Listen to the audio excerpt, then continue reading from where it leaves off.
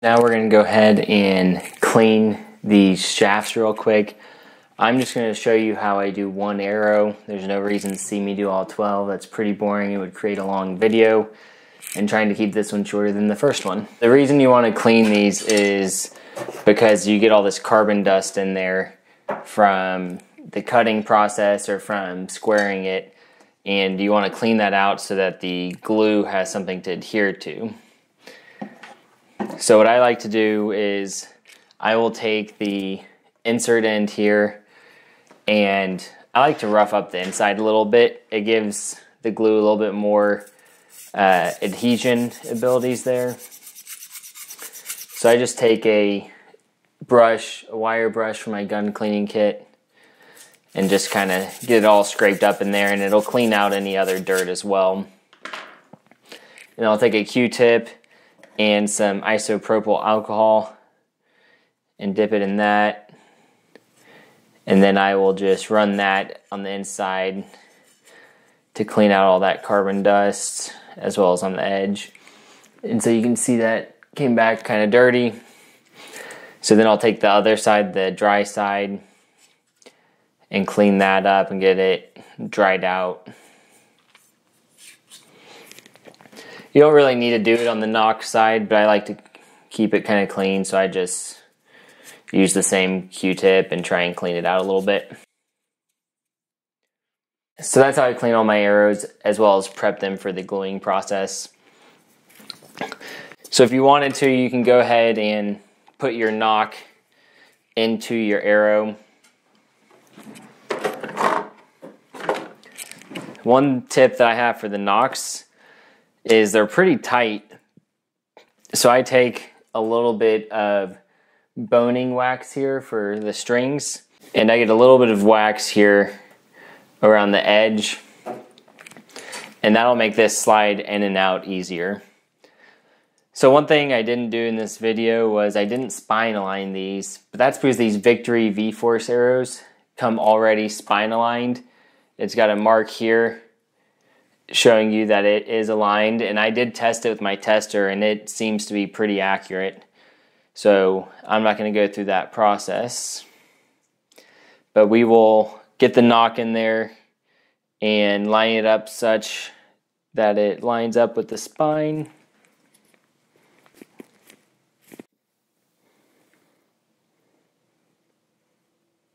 So that's in there. So the next what I do is put the fletching on.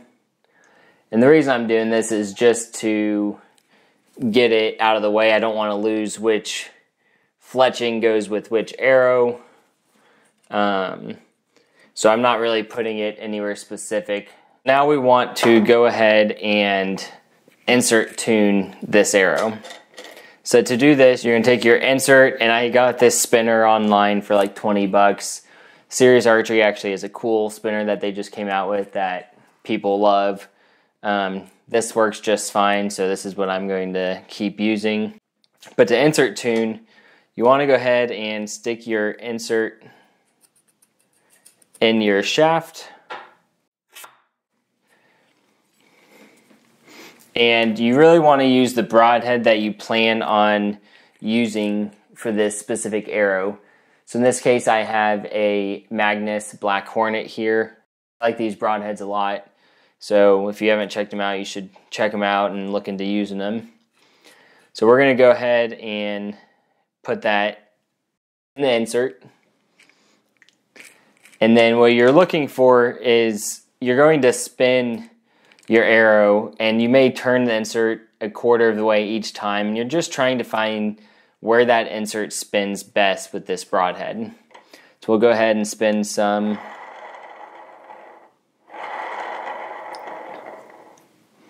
So it actually spins pretty good there. Another technique you can use is I sometimes will put a block up here. Uh, get a little Sharpie and I'll put a dot right where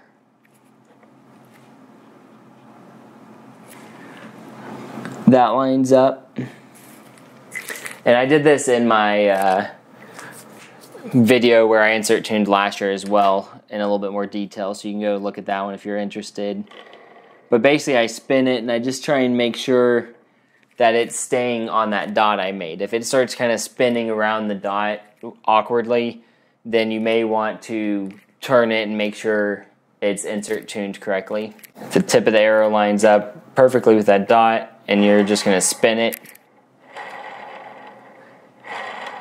And you want it to stay right on that dot.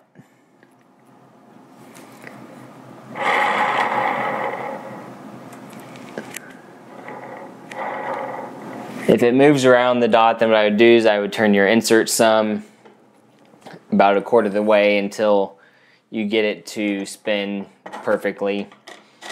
And then once you've done that, what I like to do is I take a Sharpie and I will draw a line from the insert to the shaft. And what that does is it'll show you when you go to glue it where to line up your insert. So now that we've done that, we can go ahead and get ready to glue this arrow. Like I mentioned before, I'm using the Bohning Cool Fletch here. This is some hot melt. This is the first time I've really used it, so bear with me as I test this out. And I may do an update later and talk about whether I like this or epoxy better. I just like the idea of being able to remove your inserts and reuse them or being able to reuse your arrow shafts as well. One suggestion I have is if you do have the Ranch Fairy uh, test kit, you take one of your long uh, field tips and you go ahead and screw that into your insert. It just gives you a little bit more room to hold on to the insert while you apply the hot melt. Using heat, you want to be really careful not to heat up the carbon because that'll destroy the properties in it and cause your arrow to be a lot more brittle. So what you're going to want to do is you can either directly heat your insert or heat up the hot melt itself and you're just going to rub some of the hot melt on there.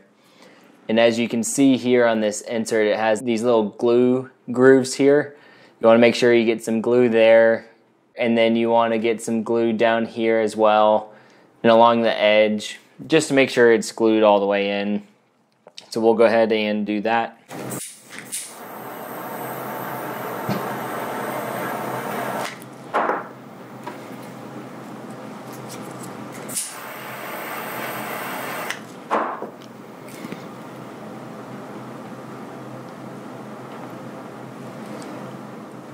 And so this stuff actually seems to dry pretty quickly. So you want to make sure you get your glue on there. If it dries on your insert, that's not a big deal. You can just reheat your insert before you put it in. So I am going to heat this back up.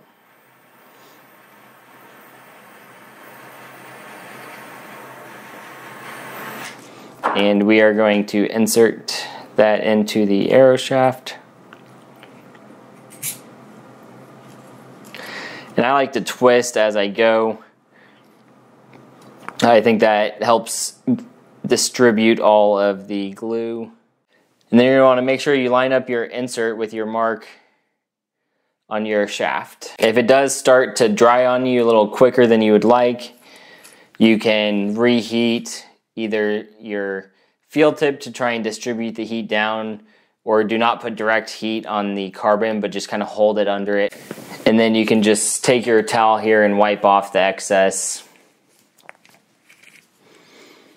And you should be good to go. That's how I build my arrows. I'm going to go ahead and do the remainder of these arrows. I like putting the fletchings on so I don't lose them. Obviously, when I go to bare shaft, I will pull those off, but for now, they are going to stay on.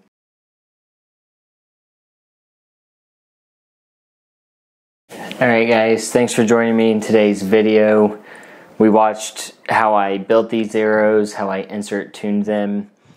Last year I did some nock tuning, but this year because I have these Victory V-Force arrows that are spine aligned, it tells you exactly where the nock should go.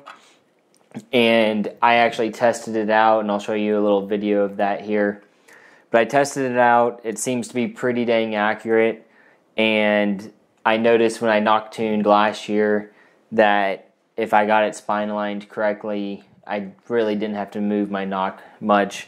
If I run into any issues in tuning, maybe that's what I'll try first. But at this point, I really don't think I need a nock tune with these arrows. So I weighed these and I will be right around the 550 grain mark. I haven't tested FOC yet because I don't know exactly where I want to put my fletching on this. I'm still going to do some tuning on that end. But what I've gone ahead and done is I've labeled all my arrows 1 through 12 and I have all my fletchings off here that are also labeled 1 through 12. That way I can get a consistent weight across all of them and when I'm done, I'll show you the weights for every single arrow as well so you can see where I stand on that. Again, this year I do plan on using the Magnus broadheads. I shot my first hog with the Black Hornet and it shot really well and I was pretty happy with it. I'm still testing out the Magnus Stinger buzz cut as well. Hopefully try and take my next hog with that one and see how well I like that. But either way, I, I feel like I'm going to be sticking with these Magnus broadheads because I'm a big fan of them. I hope you all enjoyed this video. Hopefully it was a little bit shorter than part one. In part three, I will go ahead and shoot all these through paper. If I need to do a little nock tuning, I'll go ahead and do that. Otherwise, I may make some minor adjustments with my rest. I'll show you some of the other things I do during my tuning process to make sure that I have perfect arrow flight. If you have any questions on this process or how I built these arrows or any of the components I use, feel free to leave a comment below. If you enjoyed this video, I really appreciate y'all's support. Hit that thumbs up button and subscribe. Thanks for watching, guys.